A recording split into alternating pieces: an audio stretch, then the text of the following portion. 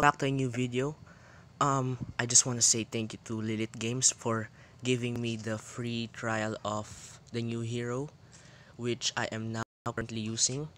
Um, believe it or not, he is actually, I've, I've seen a lot of players saying in the community that he was utterly useless or it was unfair to only have a free trial.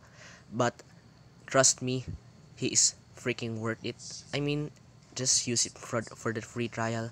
He's very useful when you're at the early stages of the game. When I first received him, received him I was at 10 10.4, chapter 10.4. Now I'm on 10.20.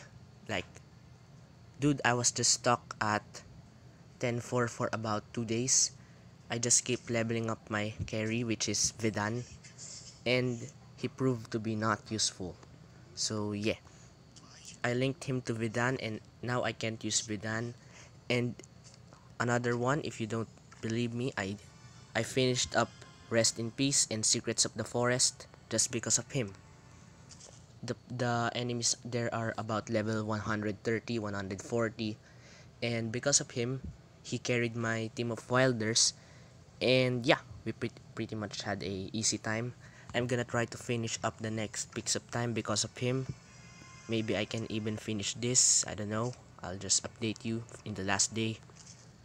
And yeah it's very useful. If your carry is not carrying you enough carrying you enough try him out. It won't you won't need to level him up. You'll just link the levels to him. The levels of your highest character lowest anyone. So that you can use him but you cannot use your main character or the character itself which is Vedan so yeah that's that. Let's see how how strong he is. Like okay this these ones are 130 my other teams are 120 I'm stuck in here right now but I've only been stuck for about 10 minutes I think. And yeah because my backline my supports are dying faster he can't keep damaging them enough just like that. So yeah. Try them out and thank you AFK Arena for giving us the free trial and see ya